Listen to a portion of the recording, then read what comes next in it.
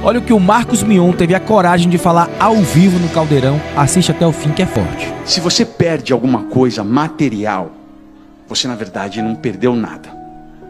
Se você perde saúde, você perde bastante. Mas se você perde a fé, você perde.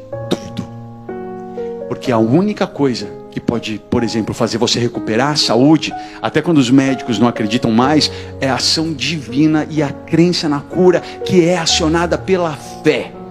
E o que movimenta você a correr atrás para recuperar um bem material perdido também é a fé.